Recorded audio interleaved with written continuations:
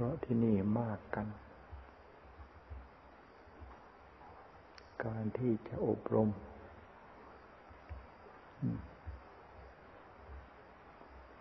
ไม่ใครจะทั่วถึง วัดบริเวณก็กว้างจึงว่าอยากให้ไปหาอยู่ตามวัดน้อยๆ มีการดูแลอบรมกัน ได้ทั่วถึง นี่มันมากกัน วันหนึ่งบางทีไม่เห็นหน้าเห็นตากันสักครั้งก็มี เดือนหนึ่งอาจจะไม่ได้พูดกันสักคำก็มีเพราะต่างองค์ก็ต่างอยู่ ต่างคนก็ต่างอยู่ แต่หากว่า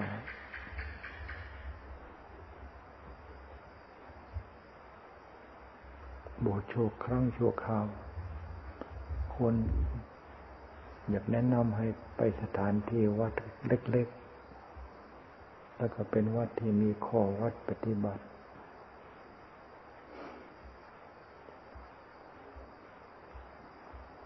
ก็เลยแนะนำให้ไปแล้ว ให้ไปศึกษาลองดูเฉยๆ สรุปแล้วไม่ได้รับ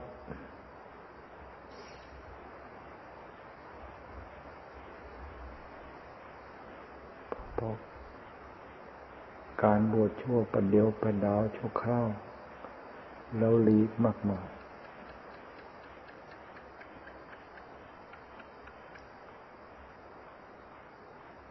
ราะการบวชชั่วคราว ใจมัน มันก็ยังเป็นฆราวาสอยู่ เพราะมันยังคิดว่าจะกลับไปเป็นฆราวาสอยู่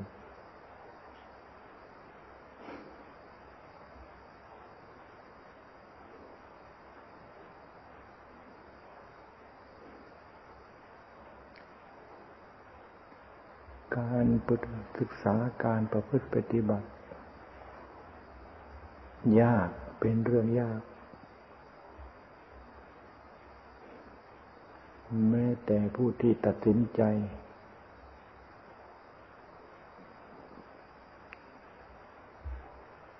การบวชนี่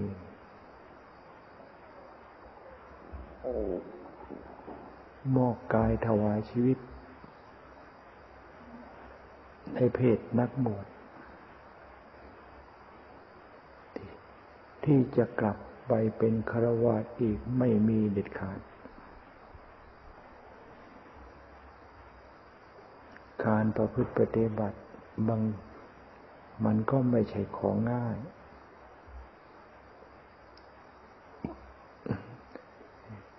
ยังล่มลุกคุกคาน หรือเหมือนกับ กลิ้งคบขึ้นภูเขากลิ้งขึ้นไปกลิ้งขึ้นไป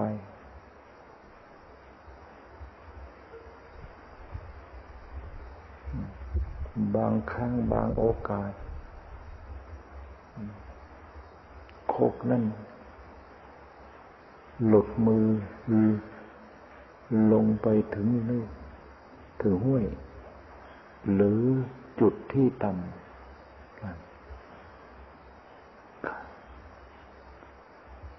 จึงว่าชีวิตการบวชจึงชีวิตเป็นชีวิตที่ ฝืน และต้องฝืนอยู่ตลอดเวลา ถ้าหากว่าจะมาบวชประเดียวประดาว โดย ยังไม่มีความพยายามที่จะให้พ้นจากลำห้วยจุดต่ำ ถึงจะบวชนานสักขนาดไหน มันก็ยังแช่อยู่ในห้วยนั้น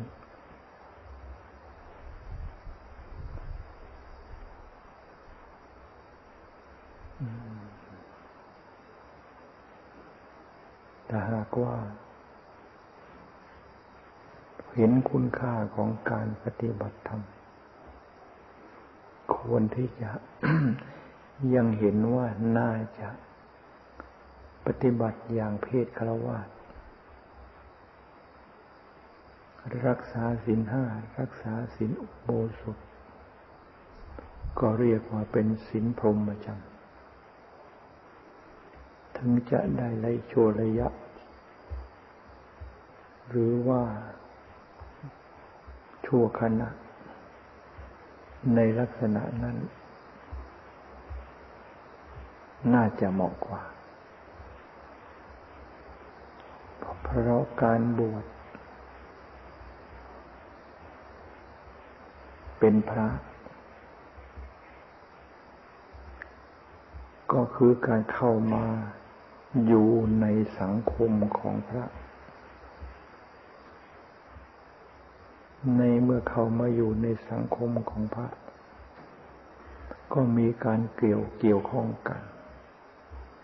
ถ้าหากว่า ยังมี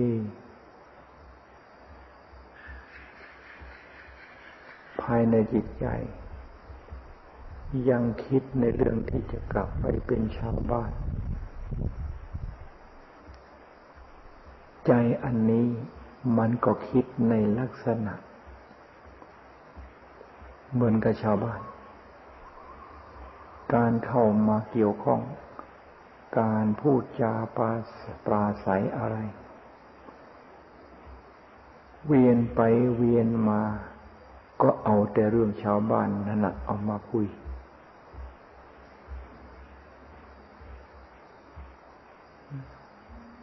จึงว่าต้องหลีก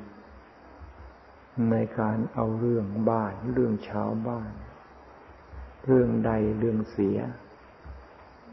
เรื่องเงินเรื่องทอง หรือเรื่องผัวเรื่องเมีย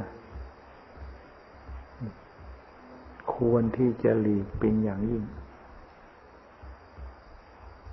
ถึงผู้ที่ตั้งใจจะมอบกายถวายชีวิต เรื่องเหล่านี้มันก็อดที่จะ ถ้าเผลอเมื่อไหร่มันก็อดที่จะ มีมีความคิดในเรื่องเหล่านี้ขึ้นในใจ จึงว่าในเมื่อมีความคิด ในเรื่องที่ไม่ใช่เรื่องของพระ อันต้องคิดว่าอันนั่นคือตัวบาป ความคิด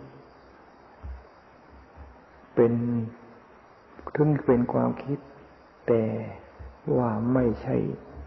เป็นเรื่องของพระจะไปคิด ความคิดอันนั้นเป็นการกระทำคิดในเรื่องที่ไม่เหมาะสมในสภาพความเป็นพระ ก็เรียกว่าทำบาปได้ จึงว่าชีวิตนักบวชจึงเป็นชีวิตที่เหมือนกับ เข็นครกหนักๆขึ้นภูเขา จะต้องมีความพยายาม มีความตะเกียบตะกาย เข้มแข็ง อยู่ตลอดเวลา ครกหนัก พร้อมที่จะไหลลงสู่ที่ต่ำก็สามารถจะเข็นขึ้น สู่เป้าหมายได้ ด้วยความพยายามจึงว่าใครมาอยู่ ใครมาบวชมาเรียน ก็ต้องรู้เอาไว้ ว่าชีวิตของนักบวชนี่ เป็นชีวิตที่หนักหนาสาหัสมาก ๆ ไม่ใช่เป็นชีวิตที่สวยของทิพย์ของทิพย์ก็หมายถึงว่าไม่ต้องทำมากินอะไร เครื่องนุ่งเครื่องห่มที่อยู่ที่อาศัย ทุกอย่างไม่ต้องมีการแสวงหาให้อย่างที่ชาวชาวบ้านเขาหากัน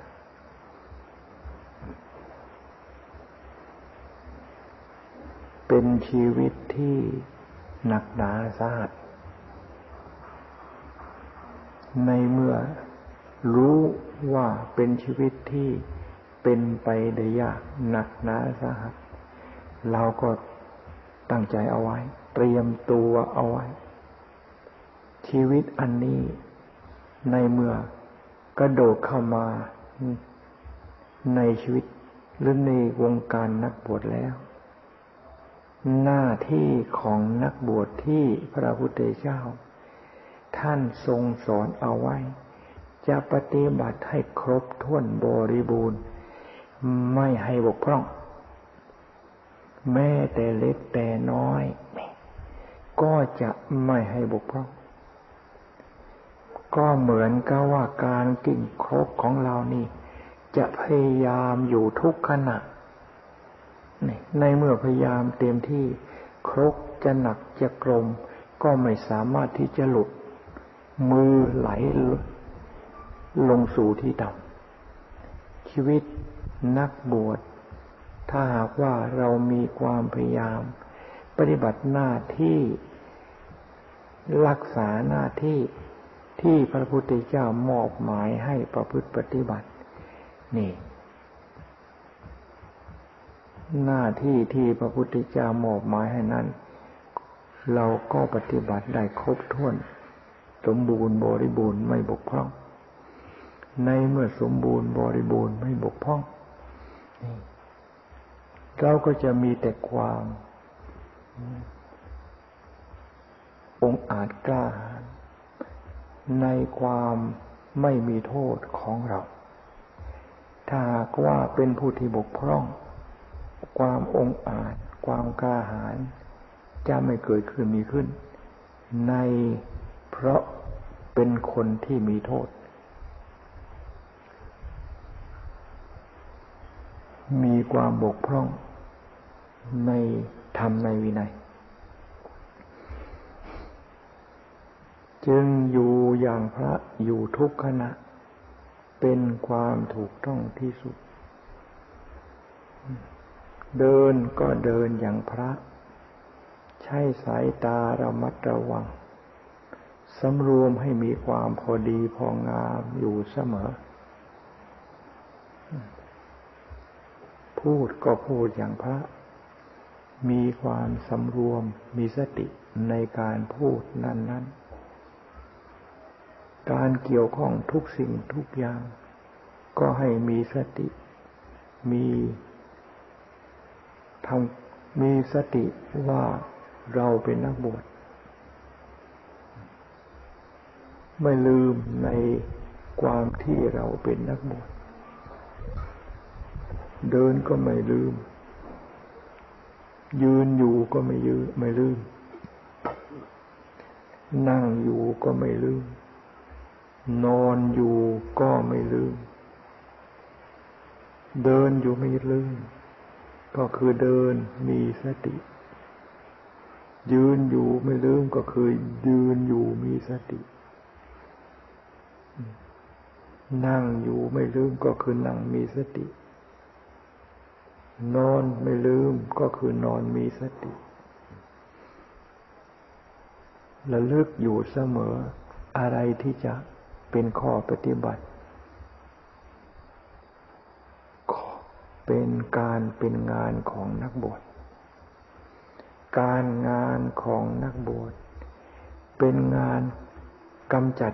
สิ่งที่เป็นข้าศึกกระใจ เราจะยืนอยู่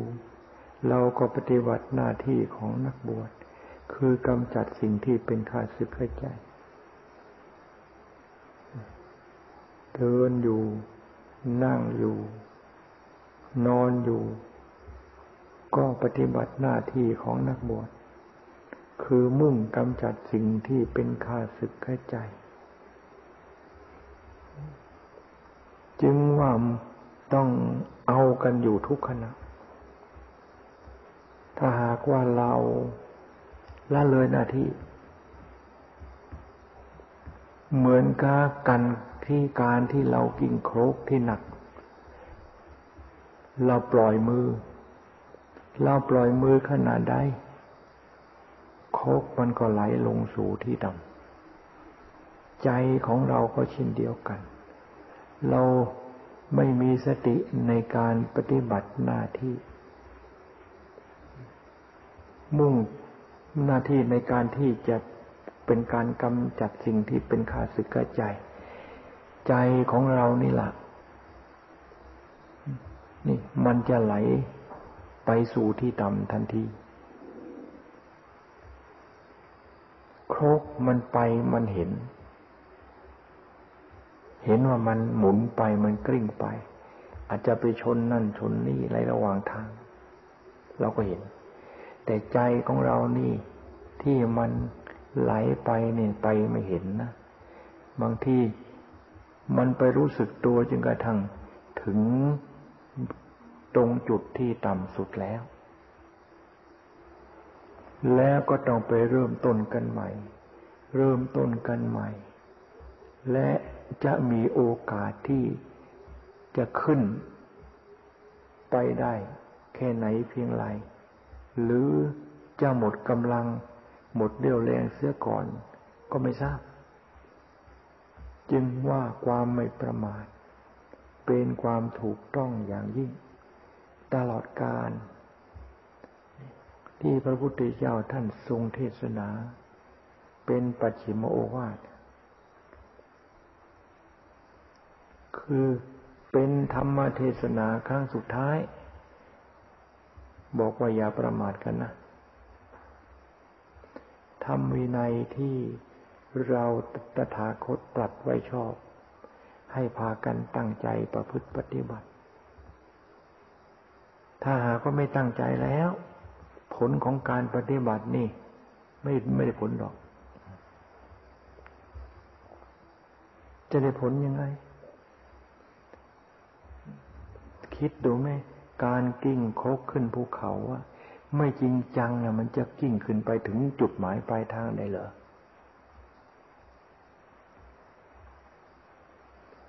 พายเรือ แกวเรือทวนกระแสน้ำเชี่ยว ถ้าหากว่าปล่อย ลาไม้ลามือขนาดใดน้า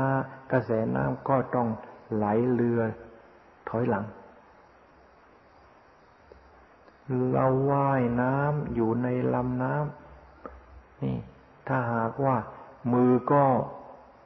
อยู่เฉยๆเท้าก็อยู่เฉย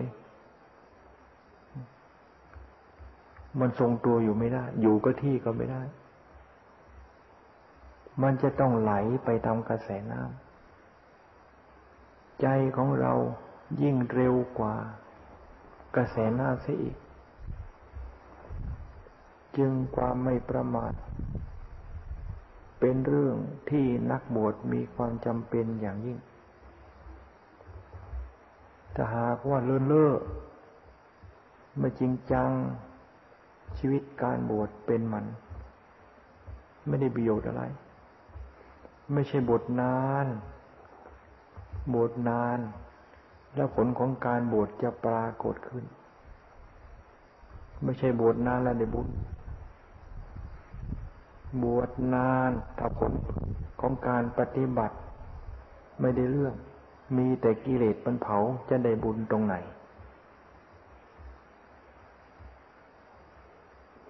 กิเลสมันไม่ได้ยกเว้นคนบวชนาน หรือคนเป็นมหาเป็นอะไรก็ช่าง มันไม่ได้ยกเว้น มันเผาทั้งนั้น กิเลสมันเผาถูกกิเลสเผานั่นหรือเป็นบุญ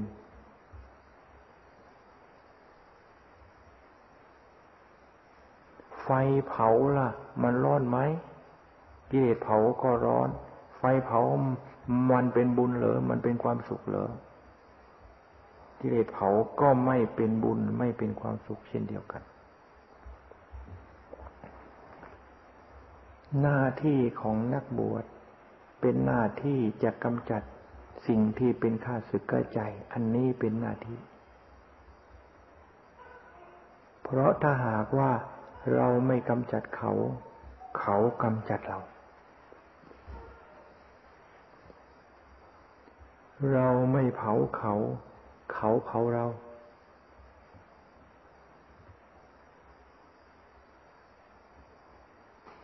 ชีวิตการบวชต้องเป็นชีวิตที่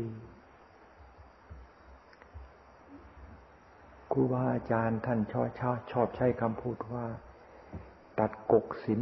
สินปลาย ตัดกกสินปลาย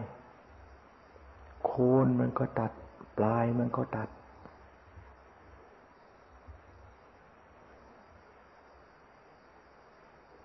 ตัดกกสินปใครๆก็ว่า เยื่อใยความลังเลสงสัยรูปคลำในการที่จะไปข้างหน้ามาข้างหลังลูกๆคำคำเรื่องโลกเรื่องสงสารอย่าให้มี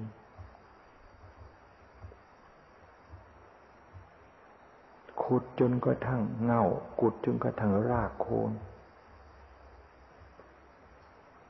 ในเมื่อตัดกกสุนสินปลาย ขุดรากขุดเงาขุดโคนโอกาสที่มันจะเกิดอีก ไม่มีคำว่าขุดรากขุดโคนขุดให้มันหมด กิเลสมันอยู่ตรงไหน กิเลสมันอยู่ตรงไหน กิเลสมันอยู่ตรงไหน ขุดเข้ามา ขุดเข้ามาหาใจ ขุดเข้ามาหาจิตของเราดวงนี้ มันอยู่ในนี่ทั้งนั้น มันไม่ใช่อยู่ในตา มันไม่ให้อยู่ในหูในจมูกในลิ้น หรือมันไม่ใช่อยู่ในอวัยวะเพศหญิงเพศชาย ในตาไม่มีหัวใจตาไม่ มองหาแต่แสงโมโปแบบอะไรก็ช่าง หูก็เหมือนกัน จมูกก็เหมือนกัน ลิ้นก็เหมือนกัน กายทุกส่วนก็เหมือนกัน มีใจอันนี้ กิเลสมันอยู่ที่ใจ มันอยู่ในใจอันนี้ เห็นไหมล่ะ คนตายแล้วล่ะ มันอยากได้อะไร มันเป็นทุกข์เป็นสุข เป็นไหม มันอยากได้ผัวได้เมียกันมีไหม ทั้งทั้งที่ตาหูจมูกลิ้นร่างกายอาวัยวะ ทุกส่วนยังครบมันมันเดิม แต่มันอยากได้ผัวได้เมียมีไหมมันไม่อยากได้ดินน้ำลมไฟ นี่มันจะอยากดีอยากได้อยากเสียอะไรเป็น ผมคนได้ฟันหนังนี่ เป็นดิน เป็นน้ำเป็นลมเป็นไฟ อาการสามสิบสองไม่มีกิเลสตัณหาใด ๆ อยู่ในกองดินกองน้ำกองลมกองไฟ กองธาตุที่ไม่มีความรู้ แต่มันอาศัยอันนี้ล่ะ เป็นเครื่องมือของมัน หมายถึงตัวกิเลสมันอาศัยอันนี้ ขุดรากขุดโคนขุดเข้ามาหาจิตดวงเดียว ขุดอยู่ทั้งกลางวัน ขุดอยู่ทั้งกลางคืน ขุดเดินก็ขุดนั่งก็ขุดนอนก็ขุดยืนก็ขุด นี่ จึงว่าอิริยาบถใด ก็ให้อยู่ในอิริยาบถที่เป็นการกำจัดข้าศึก ก็คือขุดเข้าไปหาจิตหาใจของเรา อยู่เสมอนั่นเอง เรียกว่าเป็นผู้ไม่ประมาท จึงว่าชีวิตการบวชเป็นชีวิตที่หนักหนาสาหัสสากัน ต้องต่อสู้ขนาดไหน ต้องต่อสู้ขนาดไหนกิเลสมันสามมันพยายามทุกอย่างที่จะฉุดจะดึง ที่จะฉุดจะลาก ดึงแข้งดึงขาดึงจมูกดึงตาดึงหู ดึงเพื่อให้ไปสู่สถานที่ต่ำ ต่ำตรงไหน ต่ำตรงไหน มันฉุดไปตรงนั้น ดึงไปตรงนั้น แล้วชีวิตนักบวชที่จะมุ่งในการที่จะให้สูงให้ขึ้นไปสูงสูงจุดสูงสุด แล้วจะขึ้นไปได้เหรอจะบวชนานสักขนาดไหน บวชนานสักขนาดไหน มันก็คุกคลีอยู่กับโคนกระตม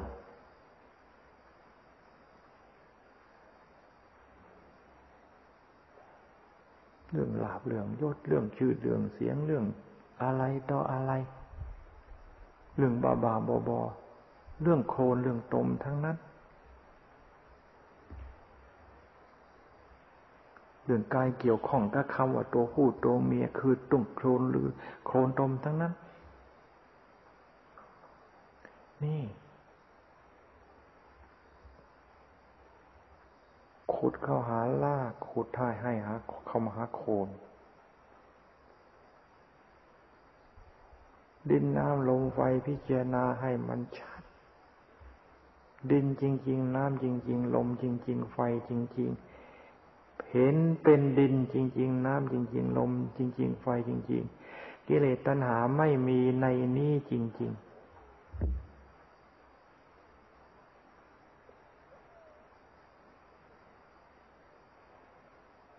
จึงพิจารณาให้ชัด จอเข้าหา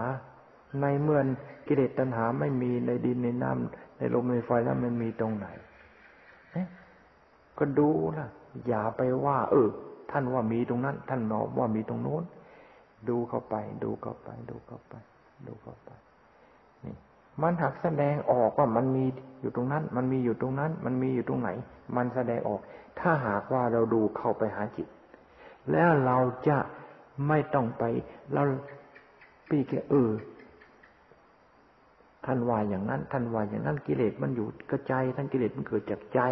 ทำทั้งหลายเกิดจากจะไม่ได้ว่าอย่างท่านว่า ว่าอย่างเราว่า เพราะเราเห็นแล้ว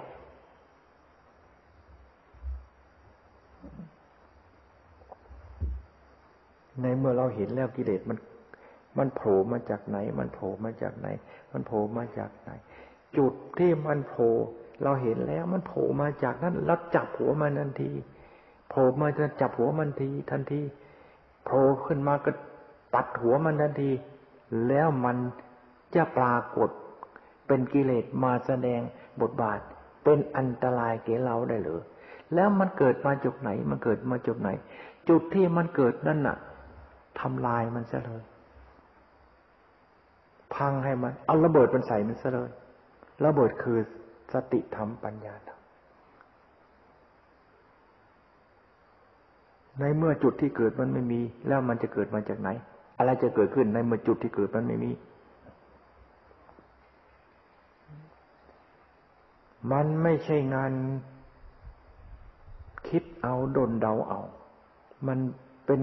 การกระทำที่ต้องทำให้เป็นทำให้ถึงรู้ เห็นเป็นขึ้นมาในจิตในใจของผู้ปฏิบัติ จึงเป็นการกำจัดข้าศึกที่เป็นข้าศึกแก่ใจได้ ถ้าหากว่าไม่เป็นจริงไม่เป็นเองตามความเป็นจริง สิ่งที่เป็นข้าศึกแก่ใจ ก็จะเป็นข้าศึกอย่างนั้น จะบวชจึงกระทั่งเขาเรียกหลวงลุงหลวงปู่หลวงตาก็ช่างเถอะ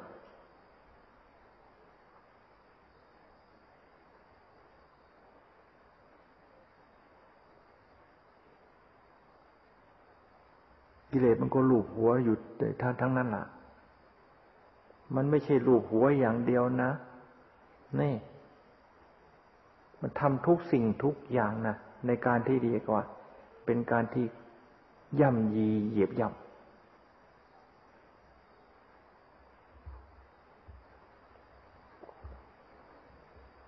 จึงพากันเข้าใจว่าหน้าที่ของเรา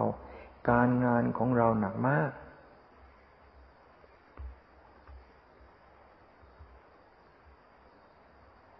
นี่แหละต้องการให้พระศาสนาเจริญ ก็มุ่งมั่นในการที่จะกำจัดตัวที่ทำลายพระศาสนานั่นเอง สิ่งที่เป็นอันตรายกับพระศาสนา สิ่งที่จะทำลายพระศาสนา ก็คือตัวกิเลสของเราเราท่านท่าน อย่าไปคิดว่าอันนั้นเป็นอันตรายแก่ศาสนา นี่ บุคคลนั้นเป็นอันตรายกับศาสนา หรือลัทธินั่นลัทธิโน้นเป็นอันตรายกับพระศาสนา กิเลสตัวเดียวเป็นการกิจอันตรายแก่พระศาสนาของเรา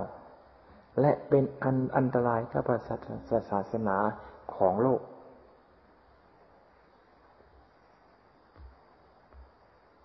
ต้องการที่จะให้พระศาสนาเจริญ มุ่งมั่นจริงจังกำจัดตัวอันตรายเข้าพระศาสนา ตัวที่มันจะทำลายพระศาสนาของเราเราท่านท่านนี่ ไม่มีอะไรทำลายหรอกถ้าตัวนี้ตายไปแล้วคำว่าลาบก็สักแต่ว่าคำพูด ยศก็สักแต่คำพูด อะไรต่ออะไรสักแต่ว่าคำพูดทั้งนั้น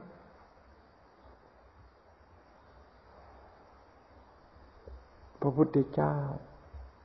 ไม่มีกิเลสแล้ว พระพุทธเจ้าก็พูดคำว่าละก็พูดคำว่ายศ พูดคำว่าสรรเสริญสุข พูดคำว่ากิเลสตัณหาราคะพูดทั้งนั้น เป็นคำพูด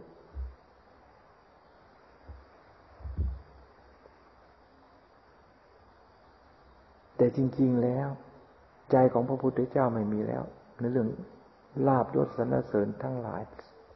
ใจที่จะไปปรารถนาไม่มี กิเลสตัณหาใด ๆ ก็ไม่มี เพราะได้กำจัดออกไปหมดสิ้นแล้วโดยครอบด้วย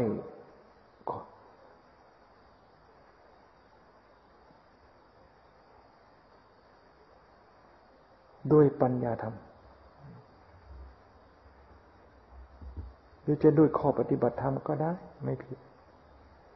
แล้วเรานี่ควรที่จะใช้คำพูดว่า ด้วยข้อปฏิบัติ ได้ถูกกำจัดไปแล้วเกตด้วยข้อปฏิบัติ ข้อปฏิบัติเป็นเหตุให้เกิดขึ้นสติ เป็นเหตุให้ขึ้นถึงศีลสมบูรณ์ เป็นเหตุให้เกิดสมาธินั่นเองเป็นเหตุให้เกิดปัญญา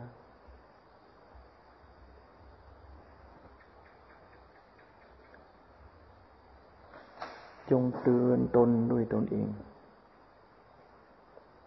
อย่าให้คนอื่นเตือน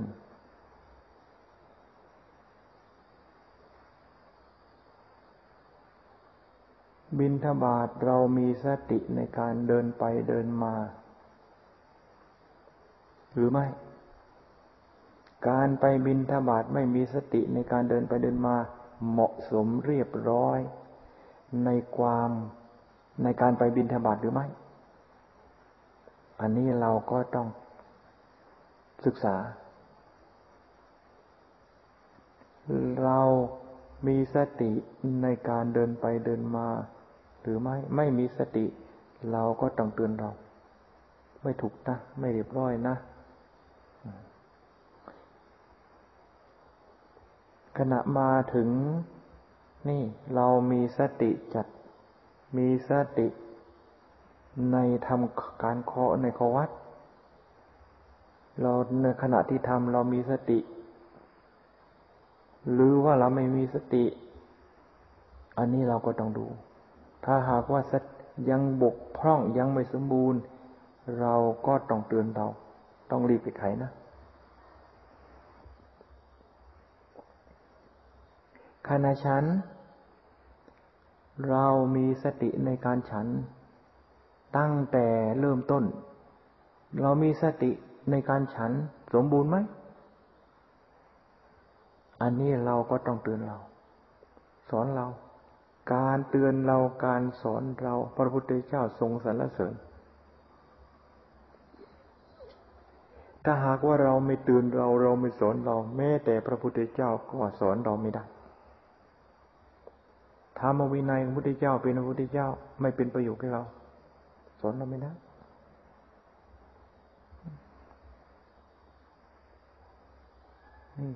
จึงว่าหนักหนาสาหัสไม่ใช่งาน ไม่ใช่อย่างสนุกสนานกัน เช้าชามเย็นชามสนุกสนานกันไป ไม่เป็นอย่างนั้น ผลออกมานี่ลุงปู่ลุงลุงลุงตาก็ช่างเถอะ หนังสือพิมพ์มันก็อดที่จะ อืมนบางทีอันนึงแล้วหนังสือพิมพ์เอามาลง หนังสือพิมพ์ไม่เอามาลงอย่าว่าไม่มีนะ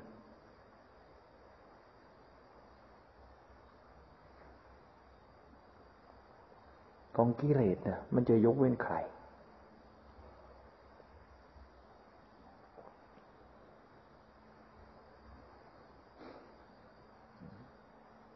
ขณะฉันมีสติ ก่อนฉันพิจารณาให้ดี ฉันก็พิจารณา ฉันแล้วเอาไปพิจารณาอีก เดินยงกรมพิจารณา นั่งภาวนาพิจารณาพิจารณาอาหารที่เราบริโภคครบฉันนั้น หมุนไป เป็นลำดับลำดับ ตั้งแต่ตื่นไปบินท่าบาทขาทั้งไปทั้งกลับ แล้วก็เอามาขบฉัน ทุกสิ่งทุกอย่างฉันแล้วเอาไปพิจารณาผ้าผ่อนท่อนสบายการนุ่งการห่มก็พิจารณา ถึงจะใหม่ถึงจะอยู่ในสภาพไหน เอามานุ่งห่มประเดี๋ยวประเดาวกลิ่นมันเกิดขึ้นแล้วเหม็นผ้าเหม็นแล้ว ผ้ามันจะเหม็นอะไร มันเหม็นของสกปรกในเจ้าของนี้เหงื่อก็เหม็นอะไรก็เหม็นไปหมดไม่อาบน้ำอาบท่าบางทีอาบอยู่ทุกวันทุกวันกลิ่นมันก็ยังปรากฏนะนี่สิ่งเหล่านี้เราต้องเอามาพิจารณาทั้งนั้น เราไม่พิจารณาสิ่งเหล่านี้เราจะไปไปพิจารณาที่ไหน พิจารณาสิ่งไม่มีจะได้เรื่องได้ราวอะไร แล้วสิ่งที่เรามีอยู่บางทีมันยังมีเรื่องได้เรื่อง มันยังไม่ยอมเห็นเราจะพิจารณาสิ่งที่ไม่มีจะไปเห็นได้ยังไง หลังจากฉันแล้ว แม้แต่ไปล่างลงไปล่างบาทก็มีสติ นี่ล่างบาทมันเหมือนกับคน ยังกินเมาเหล้ายังไม่สางนี่ ไม่รู้เสียงอะไรต่อเสียงอะไรไม่รู้เสียงอะไรต่อมีเสียงอะไร ทั้งเสียงหลงพี่ ทั้งเสียงหลงน้องหลวงพ่อหลวงตาก็ไม่ใช่ของเล่น มันฟังอยู่นะเดี๋ยวนี้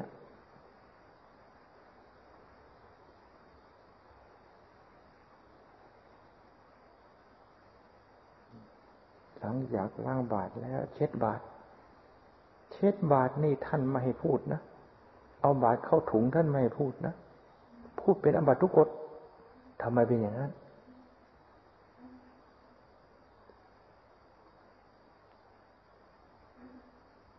ก็เนื่องจากว่ากันกวางคัดนองกันก็เลย บังคับให้มีสติในการทำให้ระมัดระวังในการทำ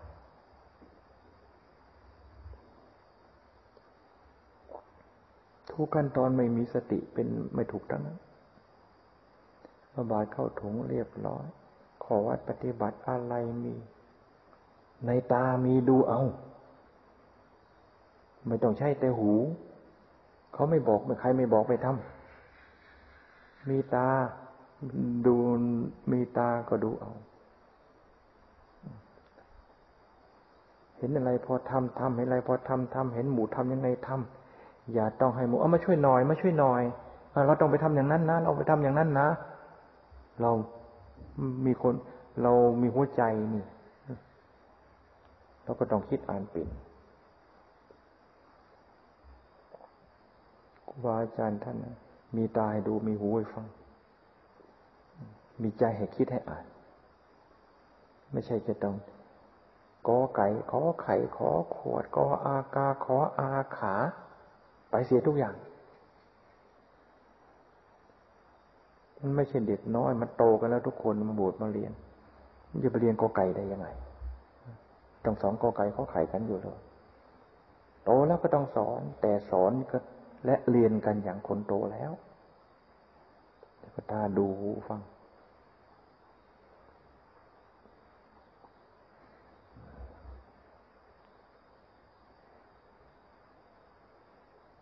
หลังจากฉันแล้ว ไม่มีกิจอะไรไม่มีอะไรยาถลายตรงนั้นอย่าไปถลายตรงโน้นกลับกุฏิทันที เก็บบาเก็บจีวรเรียบร้อย เก็บบาทเก็บจีวรไม่ใช่อยากวางตรงไหนก็วางทิ้งตรงนั้นก็ทิ้งให้เรียบร้อย บาทก็บาทจีวรก็จีวรผ้าสบงผ้าอาบน้ำอาบไรอาพึงเรียบร้อยเอามาเก็บให้เรียบร้อยไม่ใช่ตากข้างวันข้างคืน ผู้คำว่าตากผ้าอาบข้างไอ้ตลอดวันตลอดวันในพูดกันเนี่ยเหมือนก็พูดก็ใส่ผูกก็หัวตอ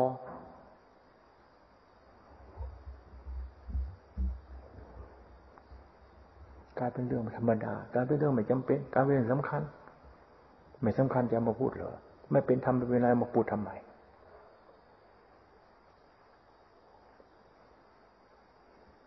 เรียบร้อยทุกอย่างแล้ว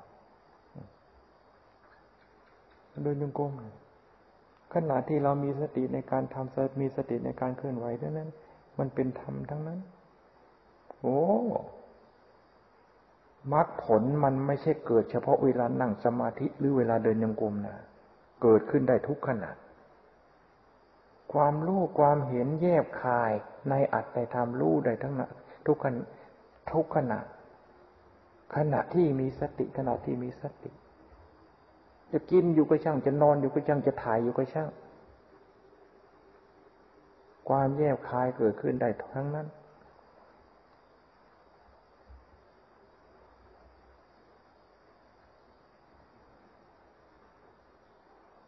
ฉันขนาดไหนพอดี ฉันขนาดไหนพอดี มันเอาบรรลุรู้เวลาเราฉันแล้วเราไปเดินโยกรมนั่งสมาธิ ฉันแล้วไปเดินโยกรมหนั่งสมาธิมันรู้ว่าฉันนี่เกินหรือฉันนี่เป็นยังไง ฉันเกินฉันขาดมันบอก โพชเนมัตันยูตา ขนาดไหนพอดีมันทั้งบอก เวลาไปเดินโยกรมหนั่งสมาธินั่นนะการฉันก็ต้องระมัดระวัง ถ้วยชามไม่จำเป็นหลีก ผมพันษาสิบ สิบสามสิบสี่พูดไม่ใช่คุยนะ บินทบาทเท่าไรฉันเท่านั้นนะ เดี๋ยวนี้ล่ะ ไม่มีถ้วยบางทีฮัทจะเอาโจกแทน มันไม่อยากจะดูสำนันเดี๋ยวนี้เดี๋ยวมันไม่ใช่ไม่อยากพูด มันตัดมันดูมันก็ไม่อยากดูนะ มันสกปรกในในตา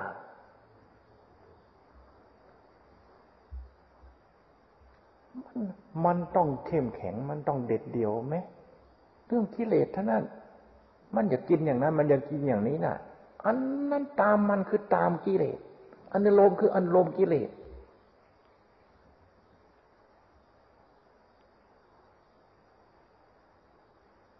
เอามันยังกระทังมันอยากเล่าให้นู่นน่ะ เราเลยอยากให้ เราอยากเล่าให้นะคือกิเลสแต่มัน มันมันอยากเล่าให้ เพราะเราทรมานมัน เราบังคับกันบังคับมัน มันอยากกินไม่กิน เห็นแพบใจมันอยากกิน อันนั้น มึงไม่ได้กินนะผู้ภาษามึงกูเลย มึงอยากเรียกถ้วย อยากโจกอยากอะไรเนี่ยโอ้ยมันหมดสิทธิ์มันจะคิดจะกิน อันนั้นมันไม่กินออก ต้องดัดมันขนาดนี้นะ เดี๋ยวนี้สิ่งเหล่านี้ต้องต้องรีบพากันแก้ไขนะ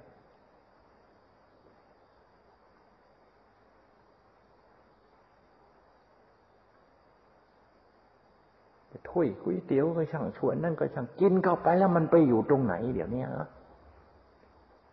มันกินแล้วมันไปอยู่ตรงไหน มันไม่จะไปอยู่ในกระเพาะอุจจาระนั่นเหรอทำไมจะต้องพิถีพิถันกันมากมายนักหนา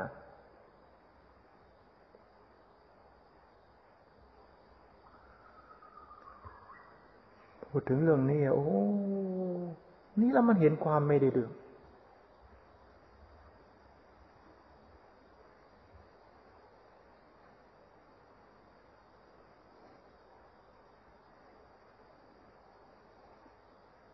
พากันรีบแก้ไข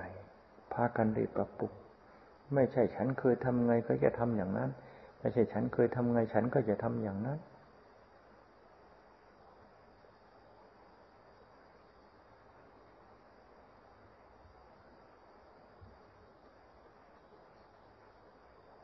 มีบางองค์ท่าน อาหารอะไรอะไรนั่นนี่เวลาท่านจะฉันนี่เอามา เอามาผัดเอามาใช้มือกวนกวนกวนกวนกวนกวนกวนกันนะแล้วก็ฉัน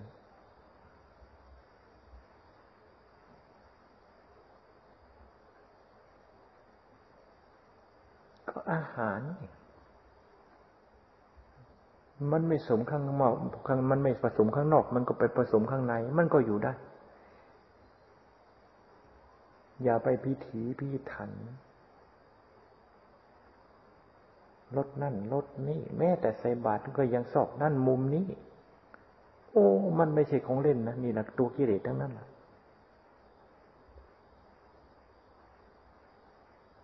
ต้องพากันตื่นตัว แก้กิเลสกำจัดกิเลส ที่เป็นข้าศึกต้องกำจัดสิ่งที่ตาหู ตาเห็นเอตาตาเห็นนี่แหละตาเห็นหูได้ยินนี่แหละกำจัดสิ่งนี้สิ่งที่เกี่ยวข้องเป็นประจำสิ่งที่เกี่ยวข้องก็เราเราเกี่ยวข้องก็เขาเป็นประจำประจำอย่างเนี้ยแต่มันกำจัดกิเลสมันไม่ได้กำจัดสิ่งเหล่านี้นะมันกำจัดตัวกิเลสตัวความอยากนู่นน่ะ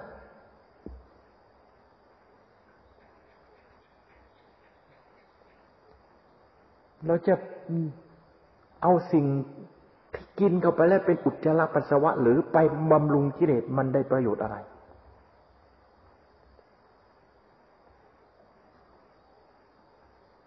กิเลสมันไม่ได้เอาอะไรนะมาบำรุงมันนะเอาสิ่งที่สิ่งที่ลูกก็ไอสิ่งที่พูดถึงการกินกินแล้วไปเป็นอุจจาระปัสสาวะนี่แหละ พูดถึงรูปสิ่งกินรสก็เหมือนกันสิ่งที่เป็นปฏิกูลทั้งนั้นมันเอามาเป็นฟืนเป็นไฟเผาหัวใจ มันไม่ได้เอาของที่เราไม่เห็นนะ มันเอาสิ่งที่เราเกี่ยวข้องเกี่ยวข้องเกี่ยวข้องนี่ทั้งนั้น สิ่งที่เราไม่เห็นไม่เกี่ยวข้องมัน มันไม่เอามาดอก แล้วมันก็ไม่สามารถที่จะเอามาได้ ราะสิ่งที่มันเอามามันเอามา ก็คือเราเนี่ยแหละเป็นผู้เอามา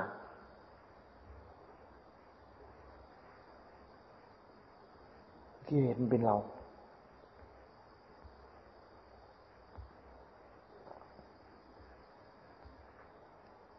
จึงว่าพากันตั้งใจ พากันเริ่มต้นคำว่าทุดงคาวัดทุดงคาวัดนับตั้งแต่ฉันอาสนะเดียว ฉันคนเดียว นี่ ฉันในบาทนี่พากันพิจารณา พากันเริ่มต้น พากันตั้งใจปฏิบัติลองดู แล้วจะรู้จักว่าทุดงโคตขวัตเป็นทุดงที่จะกำจัดกิเลส เป็นทุดงเป็นพระธรรมที่พระพุทธเจ้าบัญญัติไว้ เป็นธรรมฆ่ากิเลสฆ่าทุกขั้นตอน มันเห็นตายเป็นตัวเป็นตนไปนะอยู่เนี้ยบางทีมันยังมันก่อนจะตายมันยังร้องไห้เราดูนะโอ้โหมันยังร้องไห้คำใจคำพูดแต่มันร้องไห้ มันอยากร้องไห้อะ มันไม่อยากตายอะ มันร้องไห้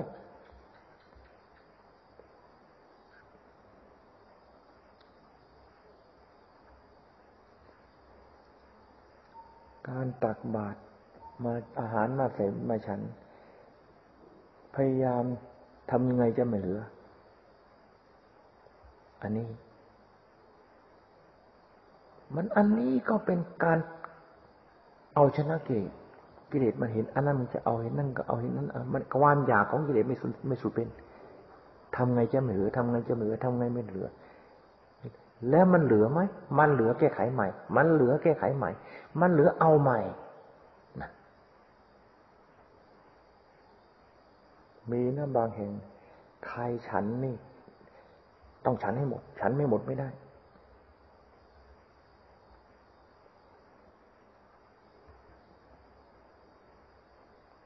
จึงว่าเรื่องการเคารพซึ่งกันและกัน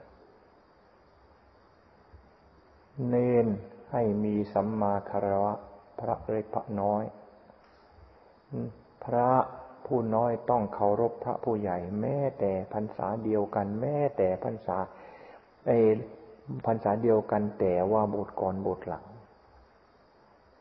การเคารพซึ่งกันและกันไม่เสียหายเลย การใส่รองเท้าไปมาหาสู่ก็ต้องระมัดระวัง พระเทระหรือพระผู้ใหญ่กว่าเธอนั่งอยู่ เราไม่ควรที่จะถือรองเท้าเข้าไปใกล้หรือเดินผ่านหน้าผ่านตาท่านไม่ได้ใส่รองเท้า เราอย่าไปใส่รองเท้าในการที่จะเดินไปนั้น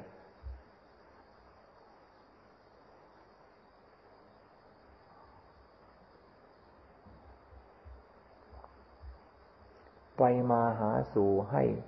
มีการกราบการไหว้ซึ่งกันและกันไม่เสียหาย ถึงจะอยู่ในวัยเดียวกันรุ่นราวคราวเดียวกัน การกราบไม่ใช่ เรากราบเพื่อเอาชนะเรา ความแข็งกระด้างความไม่ไม่เพื่อปราบกิเลสของเราที่แข็งกระด้างให้มันอ่อนให้มันสยบให้มันน้อมอ่อนมันน้อมลงไป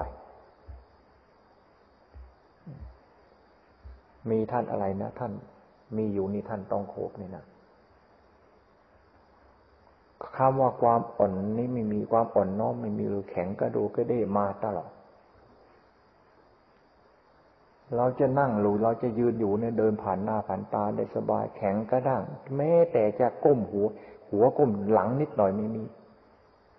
นี่พูดนี่เป็นตัวอย่างนะไม่ใช่มีรายเดียวนะ อันนี้ไม่ต้องการนะ ให้ใครมายอมสยบอะ แต่ทำวินัยเราต้องเคารพ ต้องเคารพกัน นับตั้งแต่เนรเล็กเนรน้อย พระหนุ่มพระน้อย ต้องเคารพกันเป็นลำดับลำดับผู้ใหญ่ก็ต้องเคารพผู้น้อย เคารพในด้านเหตุผล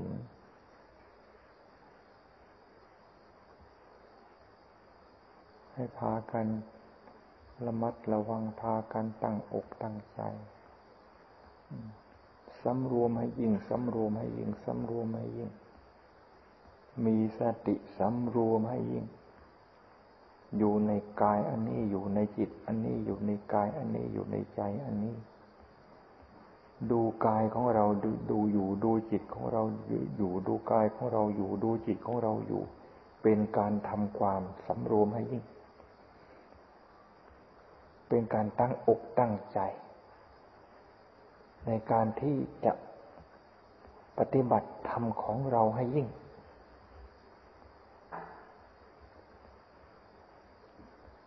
ไม่ต้องไปหาที่ไหน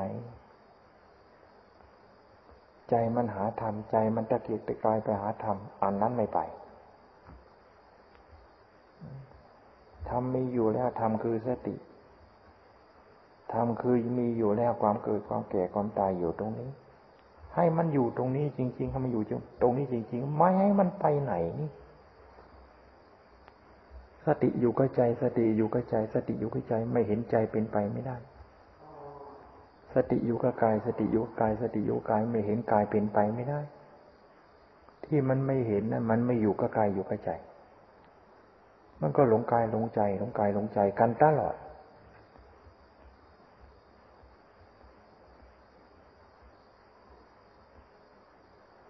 นี่หลงหลงศาสนา หลงกายหลงใจหลงศาสนา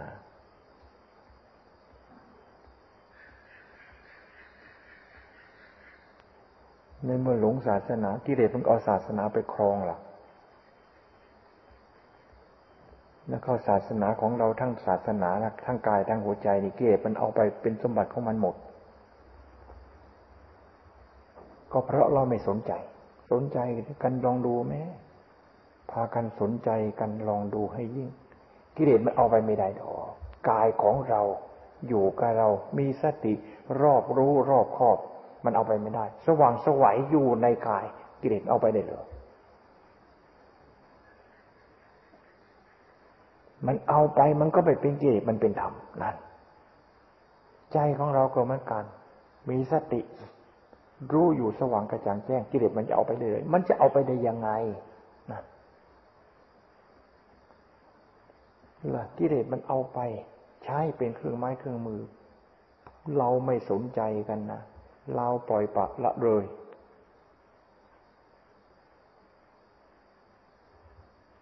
จึงพากันระมัดระวัง พากันตั้งอกตั้งใจ ถึงจะผ่านมาจะเป็นยังไง ผ่านมาจะอย่างจะเป็นยังไง เริ่มต้นใหม่ได้ และเริ่มต้นทุกวัน เริ่มต้นทุกวัน เริ่มต้นทุกวัน ไม่เสียหายอะไร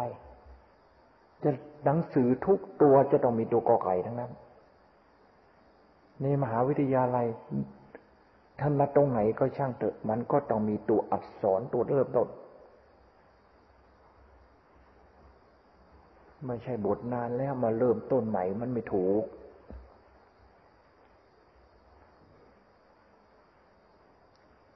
พากันเริ่มต้นใหม่นะ พากันตั้งใจใหม่นะากันไปพิจารณาทำยังไงเราจะเป็นพระทุดงที่สมบูรณ์แบบ นับตั้งแต่การฉันหนเดียว นับตั้งแต่การฉันอาสนะเดียวนับตั้งแต่การฉันในบาทอะไรต่ออะไรตรวจดู แล้วอะไรตรวจดูตรงไหนที่เราควรอย่างยิ่ง ที่จะต้องแก้ไข เราก็ต้องแก้ไข ให้พากัน ให้พากันตรวจสอบ ไม่มีใครมาตรวจสอบเรา มีแต่เราที่จะตรวจสอบเรา และไม่มีใครมาแก้ไขเราได้ ถ้าหากว่าเราไม่แก้ไขเราเอง